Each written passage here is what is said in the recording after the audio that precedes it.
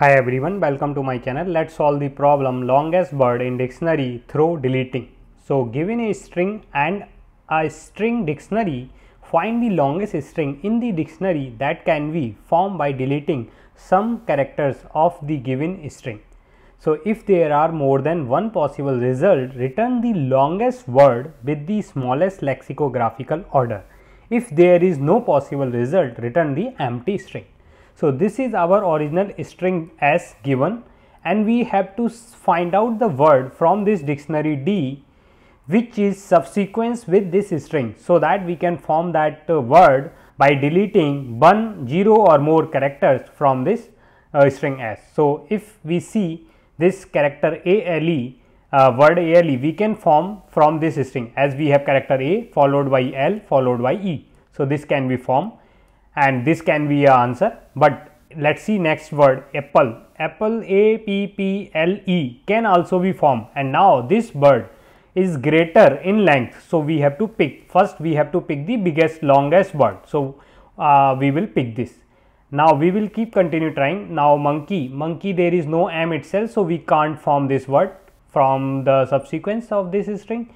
Similarly p l e a we can form it. It is a last here but the length of this is less than the length of this uh, apple which is 5 and it is 4. So, we will have to return apple as the longest word. So, you can see here answer is the longest apple. So, now how can we solve this problem? So, one of the solution to solve this problem first of all we will sort our dictionary of words in the given like expected uh, form of answer. So, based on the length first. So, we will sort this sort our dictionary first length based on the length and if two bird has the same length then we will sort based on lexicographically. Once we sort this after that we will start picking uh, and from the word. So, after sorting this string this will become first monkey then apple then plea then L. So, this is the after sorting sorry for bad handwriting so, now we will check is monkey is a subsequence of this? No. Is apple is a subsequence of this? Yes. So, as soon as we find the first bird from the dictionary is a subsequence with our string s, we will return this. So, this is the first approach and the first solution. So, let us see for the second example here as you can see all the word in dictionary is of length 1 and also sorted in a increasing uh, lexicographical order. So, which is what the problem is expecting. So, we just check if A is a subsequence, yes, A is a subsequence. So, we will return A itself. So, you can pause the video and try to code yourself first. So, here is the code snippet for the first solution. So, how we are sorting? We are using a lambda uh, Java 8 lambda op operations and where we are comparing first the length of two string. If it is equal then using ternary operator we are just using a, a dot compare to v. So, we are comparing the string a and v lexicographically increasing order while the length we are comparing in a uh, lexic in the decreasing order. So, this is, will give us a sorted order and then we are checking whether any word in the dictionary is a subsequence with the string s. So, we are calling a helper method is subsequence. So, what does this method is doing?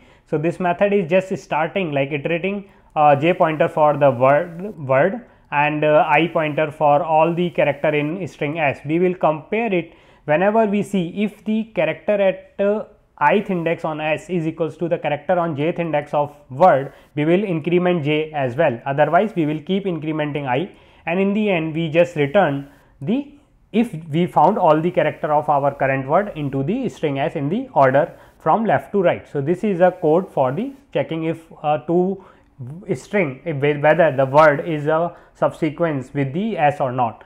Once this done, this is the order. Now, what will be the time complexity of this solution? So, let us see first string s is of length let us say n and the dictionary has m words.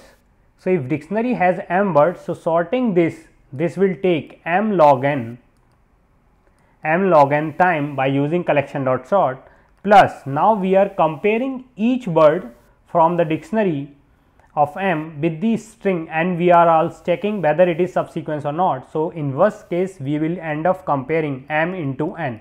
So, this will be the time complexity of this solution. So, that is it.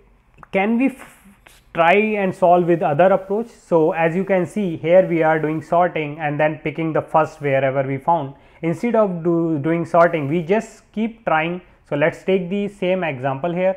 So we have uh, let's see small example A B C D and here we have A V is a string and let's say V A is another string and then we have C and then here let's say D is also the string. So we have four string uh, into our dictionary and this is our original string as ABCD. So, now what we can do first we will create a result empty string that of length 0 and now we will check one by one each word each string from the dictionary we will iterate again the using the same for loop. So, we will see if bird is a sub like first word is a subsequence with this if it is. So, once if it is a subsequence then we will check if the length of our original result if the length of our word so the current word the let us say the word is word and if bird dot length the current word which is a subsequence with s if greater than the result word the so far the result we found if it is greater than which means we found a better longest word so we will update our result with this word and in case of the length is equal then in that case we will check if it is like word dot like this is we will use if it is lexicographically current word is less than the our result then we will update. So, this is the approach and subsequence method we will reuse the same problem. So, you can pause the video and try it out code. So, let us implement the code. So, for the code I have written down this is a code for the old solution sorting one. So, here we just uh, comment the sorting line and here we define our result string result from the uh, empty string first and here we will check if the word dot length is greater than the length of our current result or or like if the word dot length is equals to result dot length and uh, result we will compare this word with result.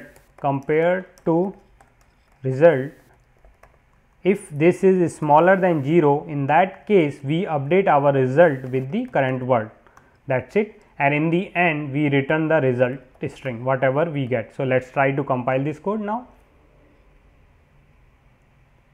The code is getting compiled. Let's test uh, one custom test case which we discuss as an example ABCD and now we have word let us say first D then we have another word VA then we have another word AV and the last is let us say C. So, let us try it out. So, we are getting the expected answer now we can submit this code and it got accepted. So, what is the time complexity of this solution? So, as you can see again we have m bird and the length of our string s. So, we are again processing and comparing each word whether it is a subsequence with s or not. So, the time complexity of this uh, code is O of m into n. That is it. If you like this solution hit the like button and subscribe to my channel.